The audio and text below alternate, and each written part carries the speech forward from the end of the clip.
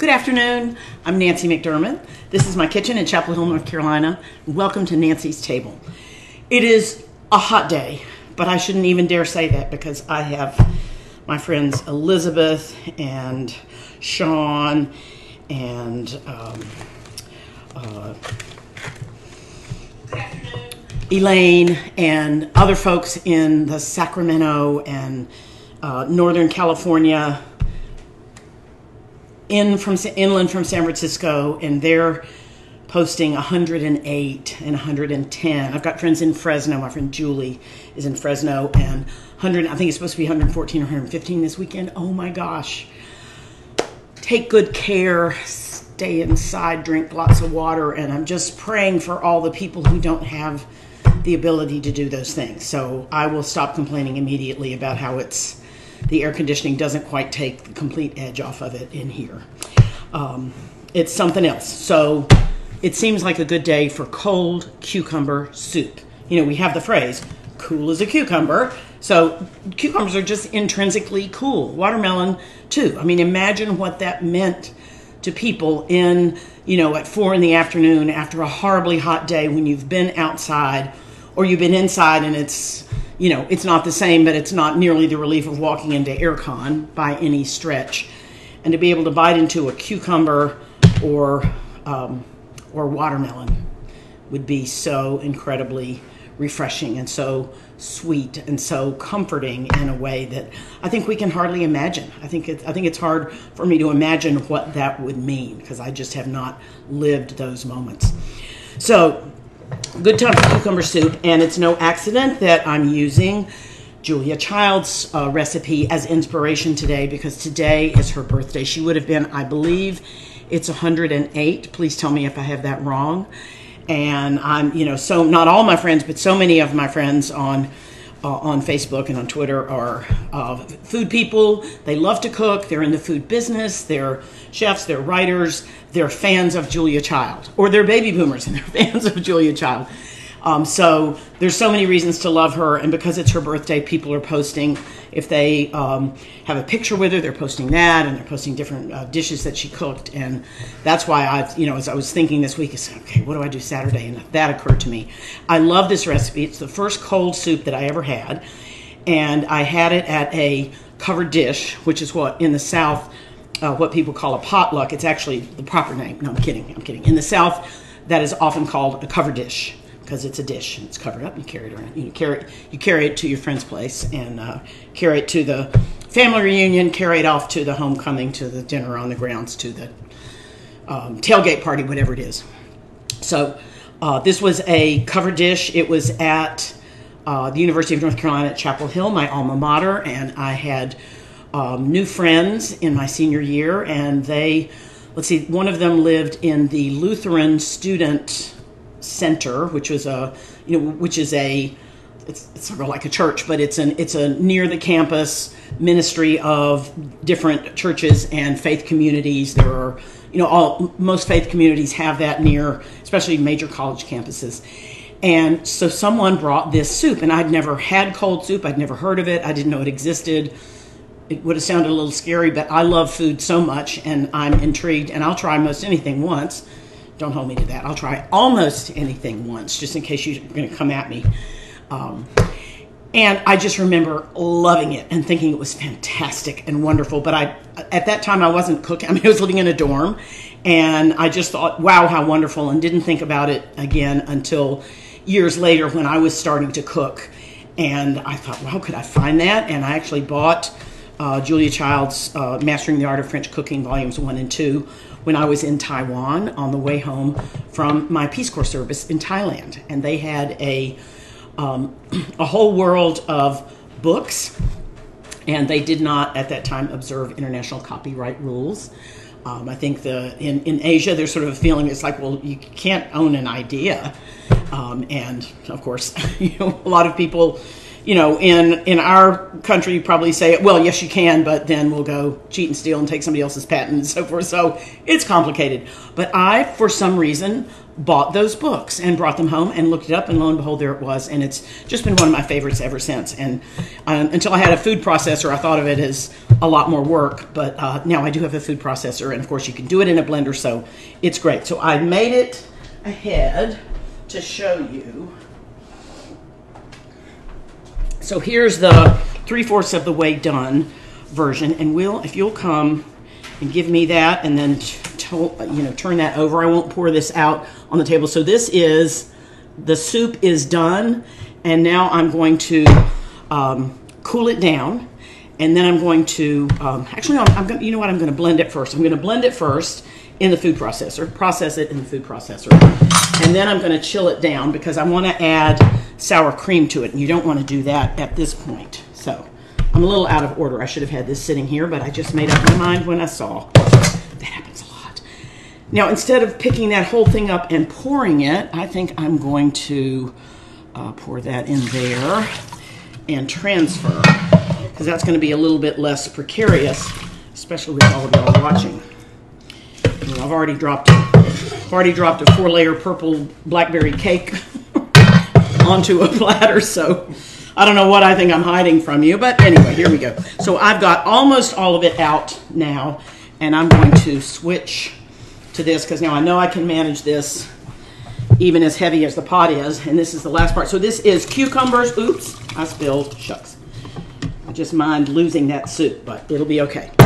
So I had about four and a half cups of cucumbers, and I know. I, I, the reason I say that this is adapted from is first of all, I didn't, I can't find my copy of the book is not handy, so I can't look up right now her uh, Julia Child's actual recipe because you always want to, you don't want to just say, oh well, they said that this was exactly the same. If you're going to claim something, you always want to get to the primary source just to be sure. So, um, so I found several uh, online versions, and I'm because this is hot and I don't want to be splashed with it. I'm looking for a really generous towel. Here we go. So right here around the side is where stuff can come out. So let's let's give it a try. So I've got I've got it sealed up, got it plugged in. There's the power on, and let me just drape it in case it's going to come squirting out and go to town. Yep, it's, spurting just a little bit. So, and you know, it's cucumbers and potato and, and shallots, all of which have been cooked for 20 minutes. So there's nothing that needs a really long buzz. So I think that may be enough. And of course, the better thing to do would be would be to have done this in two batches, because then it wouldn't have uh, overflowed. I don't know if you could see, it's come down the front and it's come down the side just a little bit. So nice to have that protection. Yep, this is fine. So I'm going to transfer this now to my, because I want to cool it down like I told you. I had some broth poured out already. Okay, set that there. And I'm going to pour the soup from the processor into this metal bowl. Well, that's not good. Should have had that in there more firmly, but I can fish it out. all right. And so now I've got my soup pureed and it looks a little thin. That's because we haven't quite finished yet. Now I'm going to put this over here in a water bath, an ice bath. And we'll see, you can plug that for me. Thank you. And I'm going to put my gigantic heavy motor and base of my processor out of the way. I'm going to bring the soup over here. And I had just ice cubes. I didn't want them to uh, melt too soon. So now I'm going to add a little more cold water because now I do want them to melt and I want them to receive the heat from this soup. Oh, okay, let me show you. So here is my ice bath. We're a little short on ice cubes because we had a shrub. We had our blackberry shrub uh, at lunchtime, which is a uh, sweet and sour blackberry. Blackberries, vinegar, and sugar cooked together um, into a syrup and then we put that in club soda and just had a nice little refreshing club soda, refreshing little homemade soda. around lunchtime. So, and this, this is the time of year where it's easy to run out of ice cubes, huh? Okay, so I'm stirring that up just to get it going. I'm just gonna let that cool down a little bit more on its own. And let's come back and I'll show you how I got here. So this is my, I don't need anything from the food processor anymore until after you're gone. So I'm gonna put this back on the stove. And first thing we need are cucumbers. So I've got four kinds. First of all, I've got the great big cucumber. I always want to call it a grocery store cucumber, a commercial cucumber. Supermarket cucumber is probably pretty good. So it has been bred to be large and it has been bred to be sturdy. So the skin is very thick. They used to be waxed. They're not waxed anymore. Um, but the peeling is thick and not delicious. So sometimes, you know, sometimes I do leave it on just because I want a little tiny bit of color and it certainly won't hurt you. So sometimes I might do, well, it's hard to see, it's hard to see, hard to see looking straight down, but sometimes I might do it because I want a little bit of color on the side. I might leave a little bit on. Um, but in this case, since I want cucumber more than anything else, and I don't, and I'm, you know, going to blend it, but still, for this kind of cucumber, I am going to peel it. I was a little careless, that's all right. Then, after I peel it, I'm going to cut it in half lengthwise. Move that out of the way. And then, thank you, President Obama, I'm going to take a spoon and just go right down the middle. Should do that, let's see. I'm going to take a spoon and cut right down the middle and make a cucumber facial. I should save all that and use it, shouldn't I? So that's, I've scooped out a little boat for cooking. That would be something you could serve something in. This one I am going to do toward me, just pushing on those seeds. And now I've got all these refreshing cucumber seeds. It's not the end of the world if you put them in, but you don't really need them. So I get rid of those. So that's my great big supermarket cucumber. And for this recipe, I want everything to be about a half an inch. So I'm stacking up and chopping. It's coarse.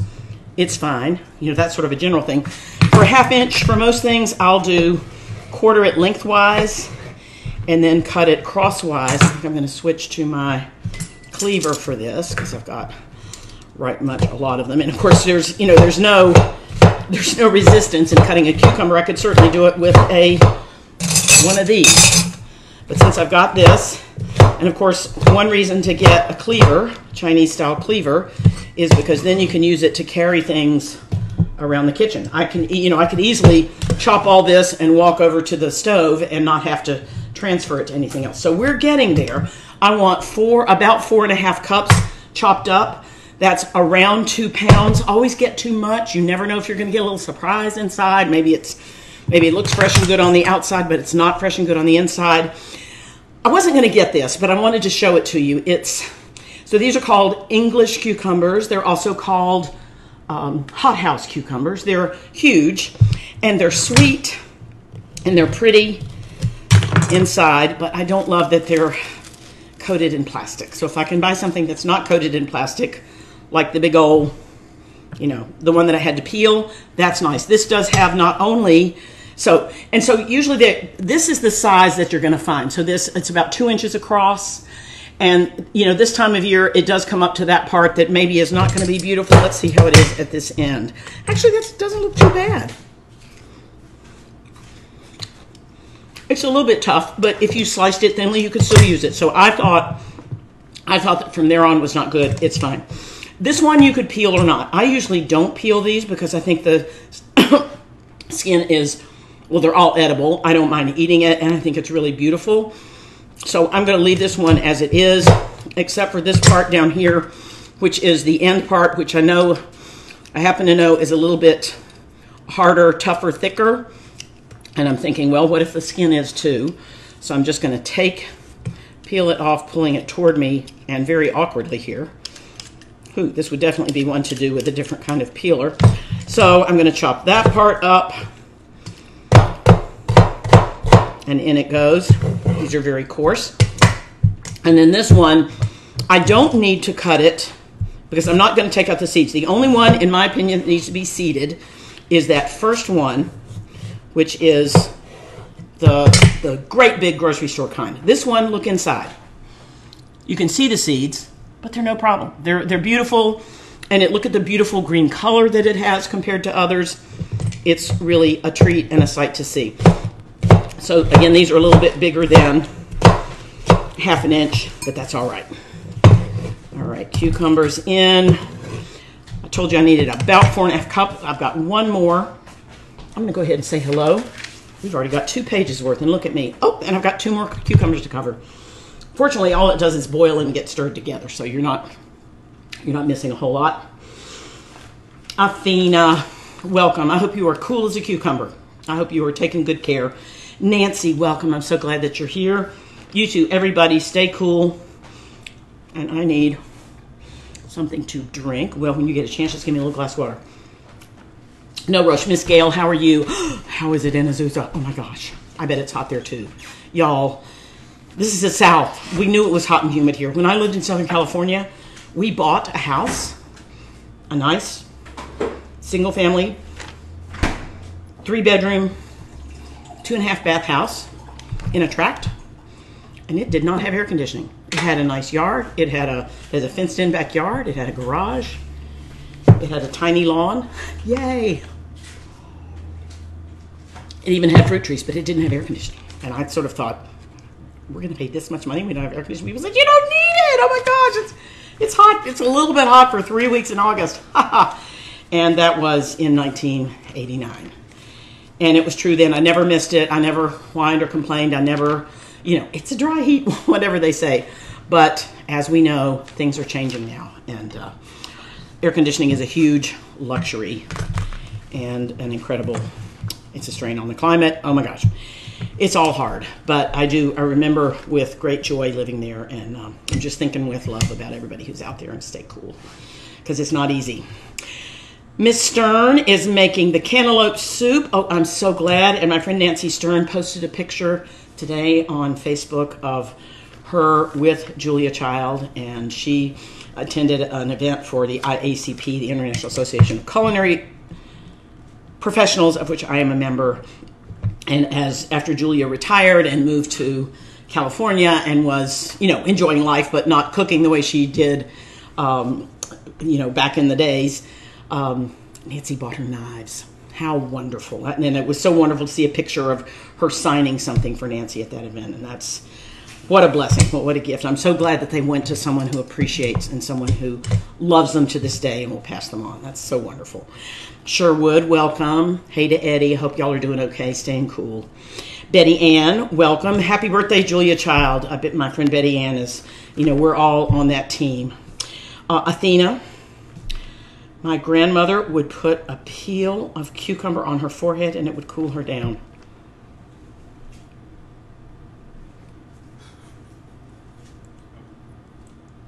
It does. That's amazing. It is physically, it is cool to my touch. It's just lying here on my counter. That is amazing. So cool as a cucumber is not a story. Oh my gosh, that's wonderful. Athena, thank you for telling me that. Catherine, welcome. I'm glad you're here. I hope you're chilled.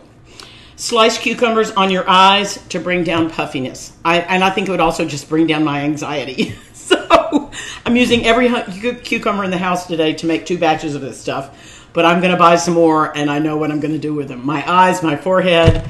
I'm going to peel great big thick sections. Y'all, thank you. Oh, this is this is old knowledge, isn't it? Sue, welcome. I'm so glad you're here. What did I promise to send you? I know that I, I have your address written on a piece of paper, and that means I promised to send you something, and you need to help me remember because I started to look it up the other day. So please let me know. Don't be ashamed to say, you told me you would send me X. Dan, welcome. How are y'all? I hope it's cool enough. Got those young kids, and I just hope everybody's staying as cool as possible and getting through it. Gail, welcome. And I know that my cousin Gail is uh, just busy harvesting the best tomatoes and peppers and all kinds of good things uh, from their yard, not too far away from here and two dogs. You know, I've got friends who've got dogs, and sometimes our dogs head on home ahead of us, and where they're waiting for us at the Rainbow Bridge. Uh, but Gail and Jean got a new dog that's just a darling, looks like a miniature of the bigger dog, and I've just been seeing pictures. They were, they started to like get together and then they took a nap together and now they're playing around together. And it's like, whew, how wonderful. Betty Ann, my Chinese cleaver is my go to tool for all kinds of cooking. Absolutely, me too. And let's see, we've got Chris. Chris, how are you? I'm just so glad that you're here. Mabel, no AC on the San Francisco Bay. Same thing. You didn't used to need it. And so it's, you know, as soon as it was invented, it became very popular in the American South. But it's only in the last few years that climate change has brought surprises to other places. So my heart is out to you, and I hope you got some breezes. We, this year, we've been running fans along with the air conditioning just because that helps make it better. Um, and Steph, welcome. I'm glad you're here. And Lydia, I, it's just such an honor and a pleasure to be with all of you, and I hope you're staying as cool as possible. Thank you. Oh, thank you, Sue. Okay. All right. Okay, two more two more cucumbers. So this one is Kirby, K A R B Y. It's got the little bumpy bumps on it. It's short and fat and sometimes they're called curvy, C U R V Y, and that's because not this one. I didn't keep the right specimen. But this is if you have a garden in North Carolina and you grow cucumbers, you're going to get short, squat, fat little cucumbers that have seeds, but not the, not a bad kind, seeds that you can absolutely eat. But they're a different texture than these other cucumbers that I've showed you. And oftentimes they're curvy. They just, you know, they're they're like they're more like the letter C. So that is a kind that I love to buy. And of course, if you go to the farmer's market, that's what you'll find. And if you go to the supermarket, you will find these. Usually, usually the supermarket this time of year, you'll have both the great big torpedoes, which you definitely want to peel and take the seeds out, and you'll have these Kirby or curvy cucumbers, which I usually peel if I'm doing something, you know, like a soup, or I want something to be a little more on the delicate side. Again, I might peel them partially and leave a little bit of green for beauty. I do like the color. But for those, they tend to be a little bit bumpy, and I think the, the peel is a little bit thick. I cut these in half, and you see they do have seeds, but that's not bad. That's a wonderful seed. You can absolutely eat those. So I would never discard the seeds on little teeny fresh cucumbers. These are also called pickling cucumbers. So if you have, you know, that's about, that's about the size, well, if it weren't cut up if it were still round. I'm, you know, I have to, I'm doing a Rubik's cube now. But if you're making um, dill pickles, sour pickles, sweet pickles, any of those, and this is the kind of cucumber that I would find in Thailand. It's called Thang Gua. Thang is anything that is in the melon family, and Gua is just the name of this particular sweet, wonderful one. And this brings me to the last one, and I found this from Let's see, the recipe for the gazpacho. So I'm doing two cold soups in a row because it's hot. Uh, the gazpacho recipe called for a Persian cucumber. And I said, what's that? So, and I always thought that Persian and English cucumbers were two different names for the same thing, just like hothouse and English are two names for the same thing, but not the case. A Persian cucumber is this, and it is, it's like a mini hothouse cucumber, except it's not, well, it is, so, actually, it is sold in a package. So this one was in, uh, it was on a plastic tray, I'm sorry to say. Um, and sometimes they'll be on that on the black foam kind of tray. And so it's like kind of like that hothouse one, but miniature. The the peel is very tender. So I, for this one, I leave the peel on. You know, it's, it's just personal preference. Take them all off. I would definitely take it off on the um, on the uh, grocery store one. Take the seeds out just always, just as a matter of case, but check it, and see how you feel about it. And so this one, and for this one, I am going to save, as the recipe directs, I'm just going to save a couple of very thin, super thin, even slices of cucumber for garni. Put that right there. Put that right there. And those are so pretty. Okay, so I've got my cucumbers, and I'll do this last one in and what am I doing? Of course we want the cleaver. Making that sound, the sound of good cooking. Okay, and let me quickly, let's get this stuff here. Okay. All right. So I've got my cukes ready. Shallots go in. Now some, I've seen recipes that call for leeks, but I'm I believe that Julia Child used shallots in the original. I don't know that, but I did see signs for both. So this is a shallot. These are all shallots. In America, we want them, they're too big. I would like them to be um, more like this. In Thailand, they're very pink and purple inside. And they're about, oh, there we go. So this is, this is a size that I would expect to find a traditional shallot in Asia or in France. You know, so that it's, it's much smaller than a, it's more, it's like a giant clove of garlic. It's much smaller than any white or yellow onion that you would see. So you so I've already cut into that one. So this one, I would cut this one. I'd cut off the top, the the growing, sprouting part, and then I'd see, see, I can't get that off yet. I like to just to peel them. I like to cut them in half lengthwise and see how easily I can just get that red papery outside off. Shallots are so delicious. French people use them all the time. It's like the basic onion. I think that I think that we American cooks don't like them because they're harder. You know, they're a little bit more fussy. You got to peel a lot of them. An onion, you just cut it in half, take the peel off. So I think we're sort of like, ah, they're all the same. And we just prefer onions. But shallots give so much flavor. In Thailand, they are essential. Shallots and garlic anchor almost every dish. I know that I've said this before when I went back to Thailand in 1989 researching my first cookbook, Real Thai, I would say, so how do you make, okay, so tell me about this, okay, this very special curry, this wonderful stir fry, this homey um, namprik uh, chili sauce, this, and people say, hom, gratin, blah, blah, blah. They just look away and go, well, you get your red onions, you got your red onions and your garlic, and then you whatever. And they wouldn't even say what to do with them because, you know, like my grandmother, well, you know, you, you just, you just, you make your cake, and then you make the, you know, they'll tell you about the hard part, which might be a chocolate icing instead of an egg white icing instead of a caramel icing. But it's like first you first you make your cake, and you are presumed to know. So I'm cutting this lengthwise, but I'm leaving it attached, and then I'm coming in with the smaller knife crosswise.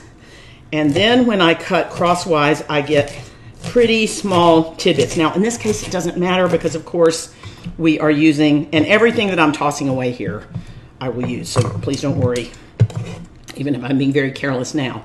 So this is a half cup of shallots that's now all chopped up pretty and purple. I love the purple color. A lot of times people use uh, in in the in the West in like even in Thai restaurants they'll use purple onion, red onion because it is it's always going to be bright purple. Here's shallots. Sometimes these are very pink and purple. I don't know if that's a summer thing, but sometimes they're barely colorful at all. Sometimes you could hardly tell that they are shallots and not onions. So um, you, do, you just see that, and that's a, that's a good substitute. It, it's fine. It's fine. Um, so this one, I just wanted to show you. So if you've got onions and shallots and garlic, and they are this time of year, they want to grow, they want to be free, they want to make a family. Here are here is a fat little shallot that had a, a cowlick, had a topper there, and so I cut it in half. Length. You could just you can just put it in the compost. But if it's the last one, you need to make use of it. You can just come in. This is going to be bitter and not delicious, this part that has decided to devote itself to the next generation. So I just go in and I get under that green part and lift it out.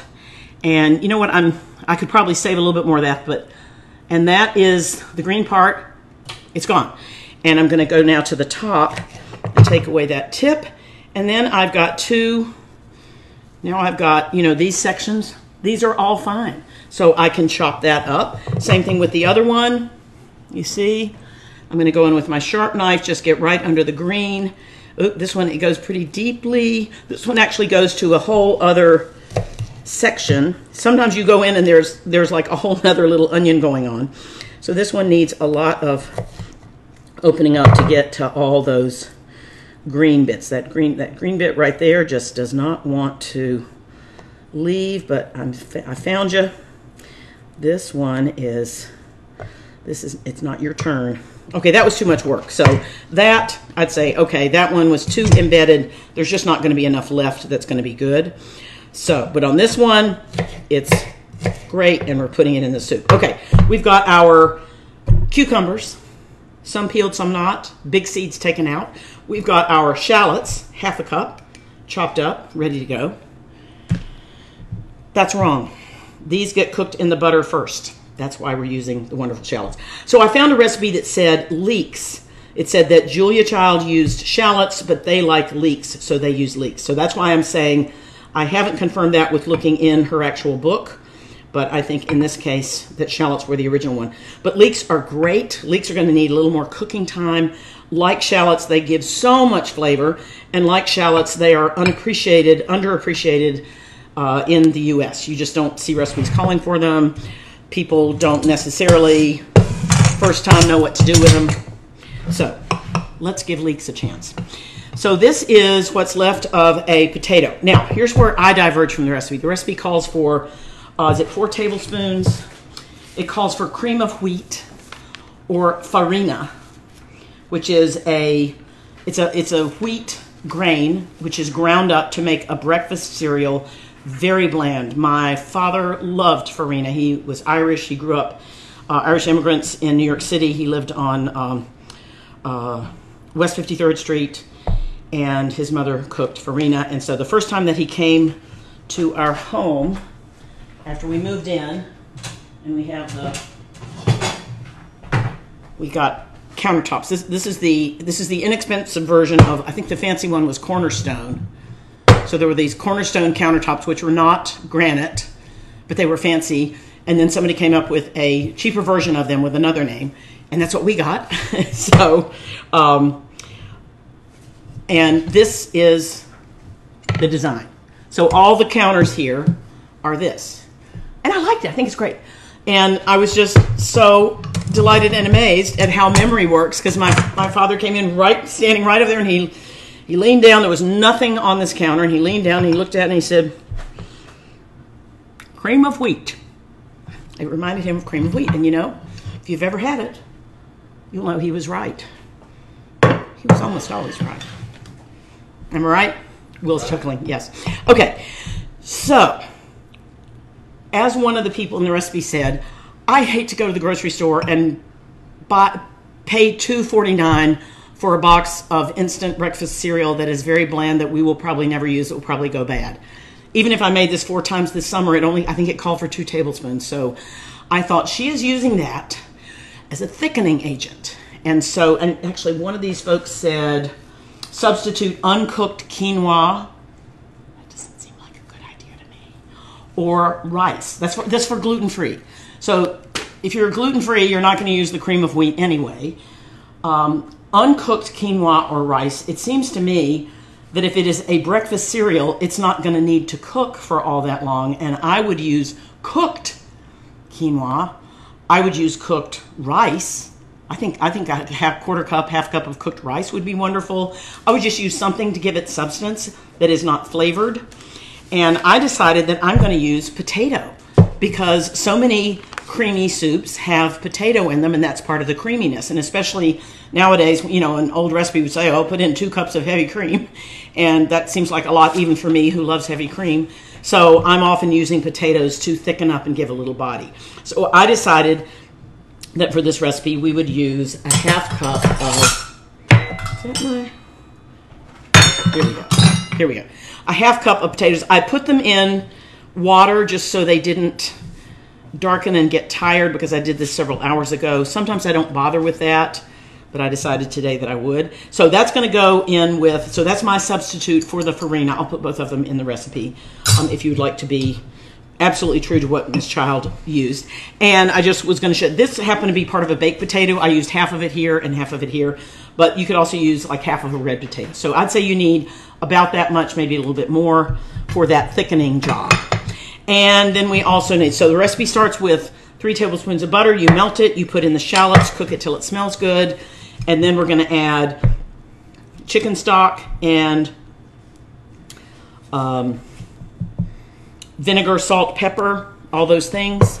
Let's actually get that started. Yeah, so I'm, I'm keeping my same pot because it has all the right flavors in it. And why wash it twice when you could wash it once? I heard thunder. Yeah, storm's coming up out here. All of a sudden it's soup weather. This is called, this can be cold soup weather. I'm gonna put this on and when I hear it bubbling, we'll add the shallots just move this through its paces and leave it cooking. You'll get to see everything. Okay, so there, I'm going to brown the. I'm to cook the shallots, not brown them. You're going to cook them for just a few minutes so they smell good and are tender, but are not browned. Then you're going to add the cucumbers and the potatoes, or the farina if you're using that. I've got a teaspoon. It said salt and pepper to taste, so I'm using a teaspoon of salt to start with, and it's probably about a quarter to a half teaspoon of pepper. I like pepper. That's going to go in, and a tablespoon of white wine vinegar. I would feel perfectly happy to use apple cider vinegar. That's just me, but if but uh, Julia Child said it's up to you. And I also have tarragon. So she says a cup of minced fresh dill, tarragon, or parsley. Another version says a half cup chopped dill, and another version says a cup minced fresh herbs like dill, tarragon, or parsley. So I went with tarragon because it's the most unusual. I very seldom use it. Dill is perfect. When I make this, I usually use parsley and dill together, but I did decide to get the tarragon today. Maybe you've not seen it. Um, this is a little bit puny. Tarragon is the only herb that I never, that when I find it in supermarkets here, it's always in a container. It's always in the specialized form. I can find, whoa, oops, lift up the books, lift up the book, move that. Yeah, hold on, people, hold on. I just spilled water over towards where these books are. Okay, now lift them up completely. All, all of them. Yeah, that's right. Okay, that'll be good. Sorry about that. Can you see me? Yes. Hello. Pot's. Oh, okay. I watched pot. Okay, so I'll take, because I can hear it, I know things are happening, I'll take the shallots, put them in. The butter hasn't melted completely, but that's okay.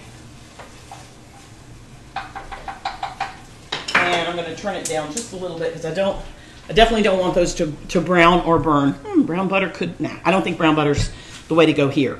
Um, so the tarragon. So I see bunches of parsley. I see bunches of cilantro. I see bunches of big bunches of dill, mint, basil, everything, even thyme. But we never, I never see a big bunch of tarragon. And I think that it's very fragile. I think that it goes bad so quickly and it's not as much called for. It's not as much known in uh, modern Southern cooking of the grocery store variety. So I think that's why it's just in a very specialized, has a plastic, you know, I'd much rather buy it like I buy parsley and cilantro and basil and so many things where you don't have to buy a plastic container if you want it. But I did that today because I think that that was the original Julia Child one. So I'm going to put a little bit, chopping it up at the last minute since it's one of the more delicate ones. And since I'm not straining this, I'm going to take out that thick stem. So I'm just going to put a couple of little tidbits of tarragon with that. So you put about half of the herbs in to cook with the cucumbers, and then the other half are going to go in fresh when you blend it up and when you serve it. So again, coarsely chopped. That's a lot of parsley. That's a nice amount of parsley. Then I'm going to save these little tarragon bits. Actually, those should go in too. I'm going to save these little tarragon bits for garnish. And I remember I've got my little tiny cucumbers for garnish too. Uh-oh, got to hustle. Okay, so that's going to go in in a minute with the um, with the vinegar, the salt, pepper.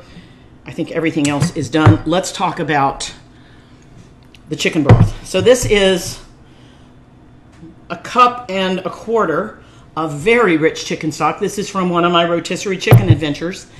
And I put, we took a lot, uh, we had some of it hot just with a meal. then we- I picked off, picked off most of it and made a chicken salad, small batch of chicken salad. There's only two of us. And then I put all the bones, meaty bones. I didn't pull everything off, meaty bones and skin, and made this chicken stock. And wowie, it's so wonderful. And that is much more rich than this needs to be. This actually, she actually says, and what's what's on this that looks kind of yucky is tarragon from where I poured uh, the stock into there. So that is, it may not look wonderful, but that's that's dirty, but it's that's because it had this same thing in it. So don't be alarmed. Um, what did you? So this just says four cups chicken stock. This one says five cups chicken stock, and this one, which I think is the most traditional, says six cups light stock. So that's why I said, you know, that what I had there was like, I mean, it was almost like bouillon, so rich. And so I'm going to add a little bit more here to make this four cups. And then because that's so rich, I think I'm just going to leave it with that and have two cups of water. Because chicken stock is going to give it a really nice depth of flavor as long as you're not vegetarian or vegan. If you're vegetarian or vegan, of course, use vegetable stock. Um, you could even use water and then season it with soy sauce. Um, I actually was thinking that if this isn't enough, isn't chickeny enough, and it seems thin, I'm probably going to add a little shot of soy sauce. Um, so I'm going to have these ready to go in along with the cucumbers.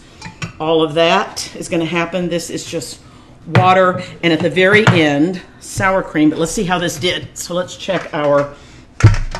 So this has been this is the hot cucumber soup that I took out and showed you in the pot, and now I have buzzed it up in the food processor, and it's it's a little bit thickened with the potatoes. It's not creamy because there's no cream of any kind in it. And yes, it's cool. It's, it's not ice cold, but it's cooled down so much. I'd say it's, well, I'd say it's something I better taste, and that'll tell me the temperature too. Perfect. It's room temperature. I mean, it's not even warm. Incredible. This is magic. If you have to chill something out, get these, you know, these bowls, these nested bowls. That does it every time. Ice water and move it around 20, 25 minutes. You're going to be at room temperature. Okay, so now this is ready. I'm just going to put, let's see, she said you need a cup of sour cream, but she said to put a half cup of sour cream into the soup. Did I just splash this on myself? I think I did. And then save a half a cup for garnishing the dishes. But you know, a lot of times we just serve it. And so I'm just saving a little tiny bit. Plus, I've got more. This is sour cream.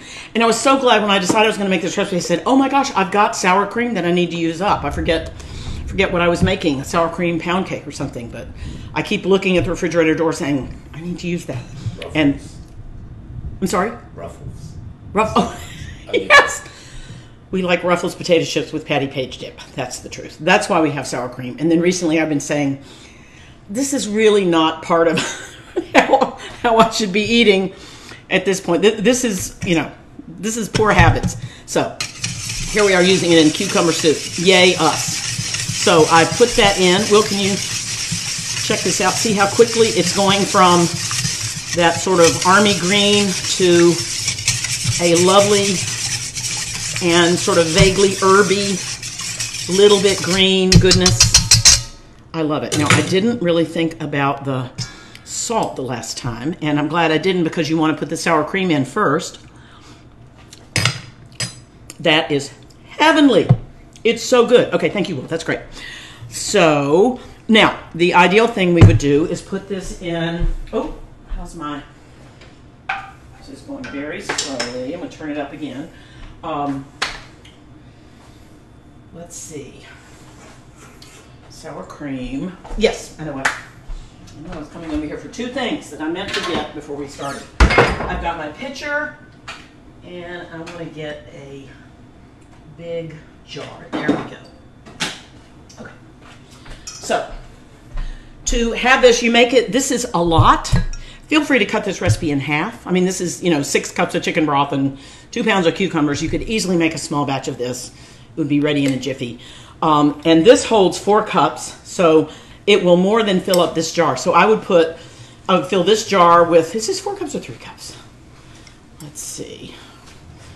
Two cups, three cups. Yeah, this is three cups to here and it's probably pretty close to four to the top. So I can fill this jar, and then I can take another smaller jar, maybe about this size, and drop some off at my friend's house, take some over to a neighbor, ring the doorbell, and run away, leave a little note because social distancing. And or if I know if I made it this morning, we're going to use it tonight, I might just put it in the pitcher because then I can just easily pour some out all day long.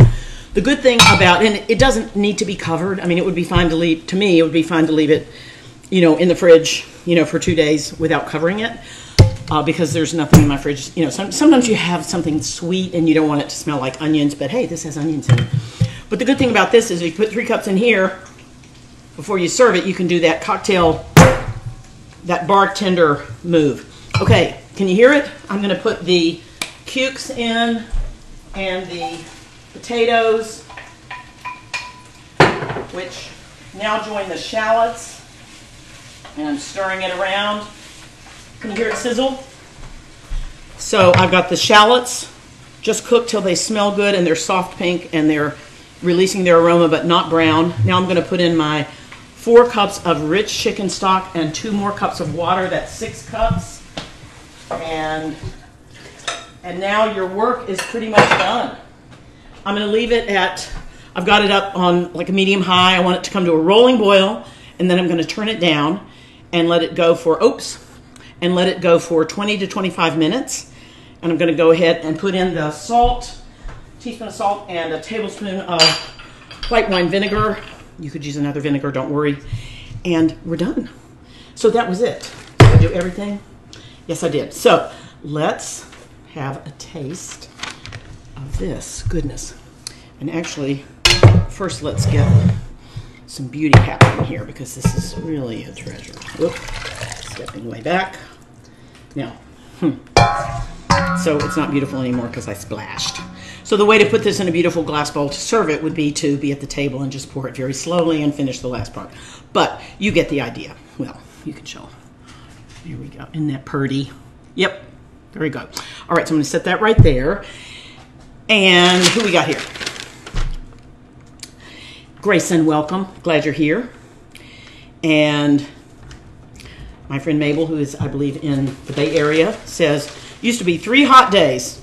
Then there were five hot days. Now there are seven hot days. It's that are we're really hot.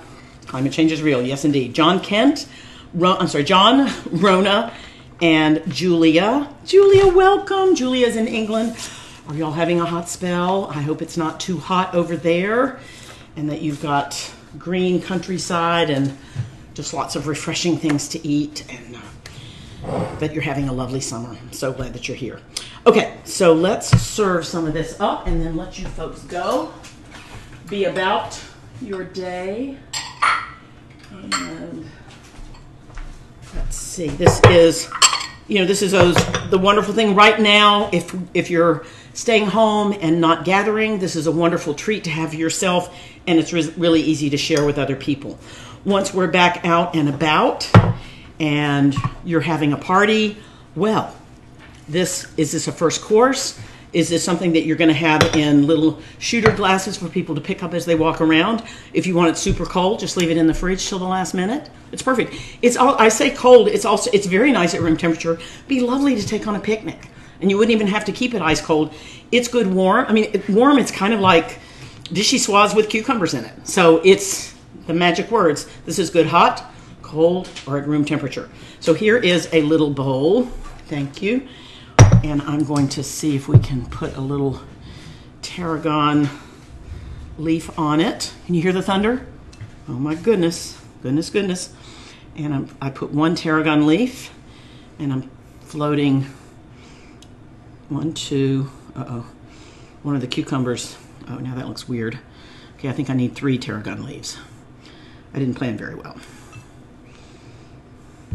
And of course the tarragon could be chopped that would be nice. Okay, people, don't do what I did. I think. Then I'm just going to go with some cucumbers in the middle and forget the tarragon. That would call for tweezers. So there's just a little bowl of, well, you're supposed to show the people. Oh, oh you're supposed to show the people, yes. I work so hard. Come on. Okay, now my hand is shaking. You can take. I learned my lesson. Okay, so, and you probably need a spoon. Let me know if you think it needs salt. And I'm going to give myself a little bowl and tell you about my little quick Julia Child story, which is I used to go to, she belonged to, she was a founding member of the International Association of Culinary Professionals, which is still alive and well and is still helping our membership with as people have pivoted from teaching cooking classes at cooking schools or um, in their homes or in their you know places of business um, that's not possible right now, so people are doing it on Zoom and they're doing it on Facebook Live and they're doing it, you know, all kinds of ways. So now this organization is saying, I use this, I use that, try that, try the other. Here's how I handle money. It's just a very generous and um, wonderful professional organization. And uh, I think the spirit of Julia Child is very strong. And so, as a young member in, gosh, February 1999, this is a month before we moved. So, we moved to Southern California, and I started in 1989.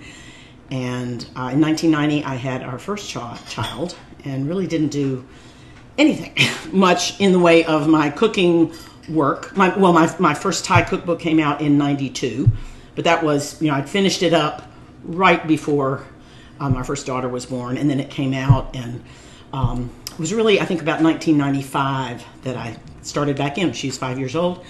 Uh, no, 1994. Yeah, that's right. Yeah, so actually, I second child was born in 95. So 89, had our first daughter, and got back to work and was working, working, and going to event, going to start teaching cooking classes, traveling all over Southern California, and uh, then our second daughter was born in '95, and during that time, our house had a had three fruit trees. It had an orange tree, it had an apricot tree, and it had a fig tree. And uh, the peach tree was especially sweet to me because peaches are a symbol of longevity in Chinese culture. And so, oh, a house that has a peach tree, and I took our peaches the first year that were there. The apricot tree, I think, had one apricot during the 10 years that we lived in that house. I think. I think maybe you have to have two of them, or you need to get fertilizer or something. It's a beautiful tree, but you know you really couldn't tell it was an apricot tree. And the orange tree had oranges. They weren't sweet, but we put sugar in them. We put honey in them. It was fine. But the peach tree gave us wonderful peaches, and I made peach jam. And the second year that I did that, I I canned it, I preserved it, and I mailed um, cheekily mailed one to Julia Child, and said, it's, you know, longevity, and you're you've helped me so much, and I wish you a long, happy life, and you know, just put in the mail. And I was like, oh my god, I'm so stupid! I can't believe I did that. And of course, maybe three weeks later, I got a lovely little tiny letter that said, Thank you so much. It was very delicious. I enjoyed it on my breakfast toast. Sincerely, Julia Child. Meant so much to me. And then, and how did I have her address? Because she was a member of our organization, and you could just open the catalog, and there was Julia Child, 103 Irving Street, Cambridge, Massachusetts, telephone and fax. You could call her up. I didn't have the nerve to do that, but um, I could send her something. And then on February 17, 1999, she says, Nancie McDermott, Calle Posada, Carlsbad, California. Dear Nancie, thank you for your letter and the copy of the Curry book. I sent her my book. Ugh. Egotistical person. Congratulations, you must be pleased indeed, and I wish you great success with it. How gracious is that? Thanks, too, for the copy of your daughter's homework assignment. I am delighted to know that I have won such a marvelous prize, but wonder how all those scoops can possibly fit into one cone. All the best, and again, many thanks, Julia Child. Now, I don't remember this, but obviously my daughter did something where it involved an ice cream cone with lots of, you know, was it math? You know, she would have been. well, this one. Oh, ah, but this isn't the ice cream cone one, right? Yeah. Yeah. It is? Where are the ice cream scoops? okay, my husband showed me. My husband is right. Okay, so this is vote. One question Who should be the best cookbook writer in the country? This was before the internet. You know, now everybody can do this. Nancie McDermott and Julia Child. And Nancie McDermott, my mom, and Julia Child, who needed no introduction. Julia Child got 105. Mommy got 135 and the prize, but Julia Child won an 125 scoop ice cream cone. Congratulations, mommy wins strawberry shortcake supreme. So, isn't this wonderful? Oh my gosh. So I sent this to Julia Child since my daughter had referenced her. And that's why she said, I am glad I have won such a marvelous prize, but wonder how all those scoops can possibly fit on one cone. So that's Julia Child. May I recommend that you read the book Dearie, D E A R I E. That's what she called people, and um, it's a it's a biography. It's really it's a big thick book. There are a lot of books about her, and, and they're all so wonderful. Um, but I really like that one. That's the most recent one that I read. I, th- I think it maybe came out probably eight or ten years ago. But it really goes into her deeply into her life, and uh, it's quite marvelous. And I'm I know that uh, she was she was a political person, and um, I would like to say that she would certainly be making toast to uh, the success of Joe Biden and Kamala Harris, as I am. And I'm raising my cucumber soup to them. And I'm hoping that you are keeping cool with cucumber soup with um, ice cream or ice water or whatever there is in the world. And Betty Ann, uh, did I drop? Am I okay? Did you drop a cake or the cucumbers? Oh, I dropped the. I dropped a cake. This was on uh, May 25th on Memorial Day in my big, my big taking a break till July 1st show. I, I made a little uh, blackberry. I, I, I took a, a square single layer cake, cut it in half, and then cut each long strip in half to make four layers and iced it with blackberry icing. But I just had it sitting here, and so I tried to lift it up and move it to. I'm, I made a very bad decision, and so it tumbled onto a platter. so it was wonderful. So I made a trifle. What are you going to do? It turned out to be a much better lesson than the cake. Therese, how are you? I'm so glad that you're here. We need a phone call. I'm going to call you. Let's talk, okay? Next week, let's look for time. And Catherine, welcome. Yum, this is so good. This is Easy Street, people. If you don't have a food processor, use a blender. Just do it in two or three batches. And you can decide how smooth, super smooth, and creamy you want.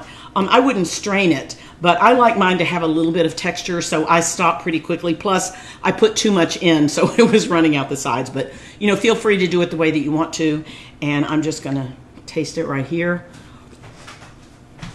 The sour cream is divine. You could certainly use yogurt and if if you are vegan and you want that creaminess, there may be a vegan sour cream, a vegan version of sour cream or yogurt that gives tex- texture. You know, it's it's really just it does give a tangy richness, but you could do that. You could have lime juice and something else; it'll just give it the texture. So, such a treasure, Julia Child. Wonderful summary things. You are such a treasure. It's an honor to spend this day with you. Happy Saturday, August 15th, and I hope you've got something fun and wonderful with your own self or on a Zoom call or reading a great book or watching a fun movie. So I hope there's something that makes you laugh in the next couple of days. We got to we got to prioritize that. We got to get those laughs in. So be thinking about the funny movies. I for one am going to get Chicken Run. We saw that 11 times when it came out. 11. We had two kids and I liked it, so that's what happened. okay, people, I love you. I will see you uh, at 5 o'clock for anti racism check in if you are so inclined, and I'll see you at 7 o'clock over there for reading aloud. Chester, um, not Chester, Chester is the cricket in, up in Connecticut, and this is Tucker's countryside where Tucker the mouse and Harry Cat go up to help their friend deal with the challenge in the meadow. Things are getting wild. Bye now.